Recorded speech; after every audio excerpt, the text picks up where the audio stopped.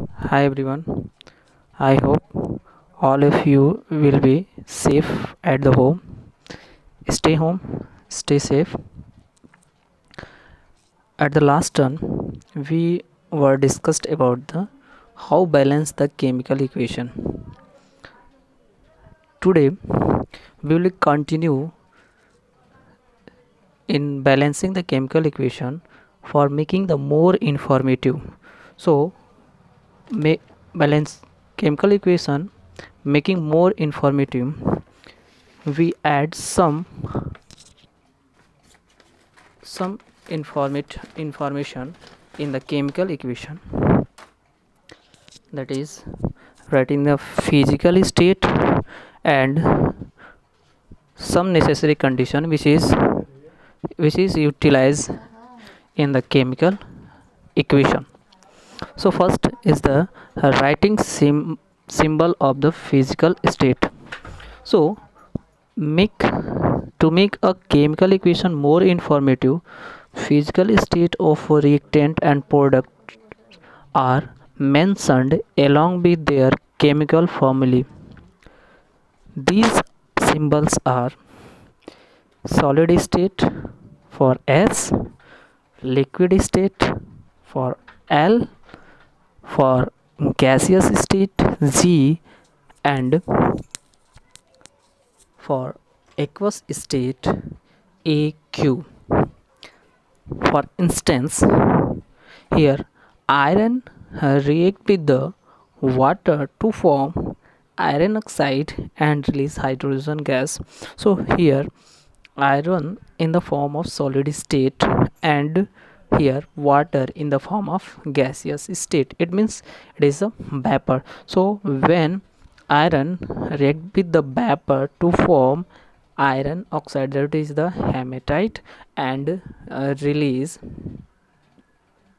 hydrogen gas. Second example. Here hydrogen gas. Here hydrogen gas react with the oxygen gas to form liquid water. So in this way we make a chemical equation more informative. Now the second and uh, right necessary condition means uh, some chemical reaction takes place in the presence of uh, temperature pressure catalyst. So we have to write a necessary condition of temperature like temperature pressure or catalyst on arrow above or below in the equation. Okay so means uh, some chemical reaction takes place in the presence of catalyst. So catalyst what is the catalyst? Catalyst is a chemical which alter the rate of reaction is not involved in chemical reaction. Okay.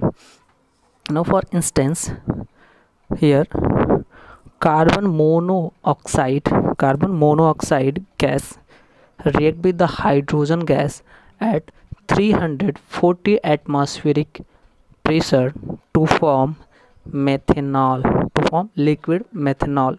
This is a liquid methanol. So here the necessary condition is the atmospheric atmospheric pressure. Here the atmospheric pressure is 340 atm that is the atmospheric pressure. Now second example is the photosynthesis. Here photosynthesis carbon dioxide liquid carbon dioxide sorry aqueous carbon dioxide react with the liquid water here water carbon dioxide react with the water in the presence of sunlight and chlorophyll. This is the necessary condition. Here sunlight is the temperature and chlorophyll and uh, it form the glucose in the form of aqueous and release oxygen gas. Okay so here this is the necessary condition. Uh, in this uh, condition this a chemical equation that is the photosynthesis will be takes place. In the absence of sunlight and chlorophyll photosynthesis will not be take takes place. So this is the necessary condition. Okay. Now let's do practice for how we balance the chemical equation. Okay. So here we'll see. Write the uh, balanced equation for the following chemical equation here hydrogen react with the chlorine to form hydrogen chloride. Okay. So and second barium chloride react with the aluminum sulfate to form barium sulfate and aluminum chloride. Third sodium react with the water to form sodium hydroxide and release hydrogen gas. So let's balance the chemical equation. So here uh, first the symbol of hydrogen is the H2 so here hydrogen gas reacts with the chlorine gas. Chlorine gas to form hydrochloric gas to form hydrochloric gas. So this is the hydrochloric gas. Okay.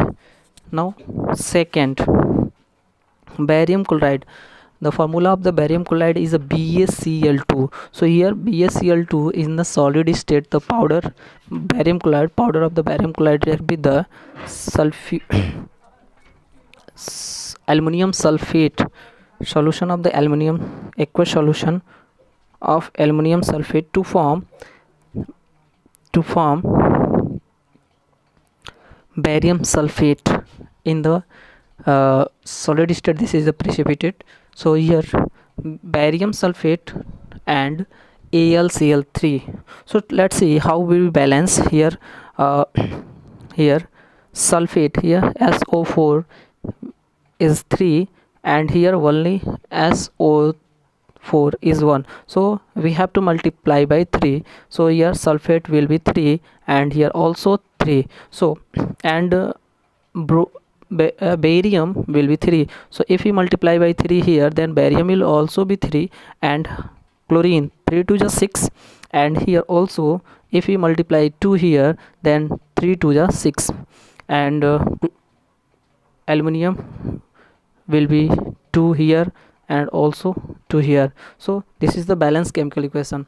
And in the previous lecture we have to discuss how we balance the chemical equation. And in this session we will be practice some chemical equation for balancing okay? Now third one is the here sodium. Sodium is, is the high reactive metals. Uh, sodium react with the solid sodium react with the water to form sodium hydroxide in aqueous form and release hydrogen gas. So this is the sum uh, balancing chemical equation how we balance the chemical equation. In the previous chapter we have to see and uh, in this equation we uh, in this session we uh, do the more practice. And this is your uh, daily practice problem means this is your homework. So first balance how the chemical balance the following chemical equation how we balance the chemical equation so first is the barium chloride react with the sodium sulfate to form barium sulfate and sodium chloride. Second sodium hydroxide plus hydrochloric acid to form sodium chloride and water. Third sodium carbonate plus calcium chloride to form calcium carbonate and sodium chloride. Third nitric acid react with the calcium hydroxide to form calcium nitrate and water. So this is your uh, first dpp that is the daily practice paper. And uh, every session in the every session i will provide uh, dpp for the each uh, topics. Okay? So uh, you you all of you will be comment below uh, for how uh, balance this chemical equation. And uh, okay so this is i hope all of you will be uh, understood this uh, writing the physical state and necessary condition and uh, here balancing some equation. And uh, this is your dpp okay so this is your end of this session and uh, i hope you will be do better okay? And uh, all of you will be safe at home. Stay safe. Stay home. Stay safe. As always god bless you. Thank you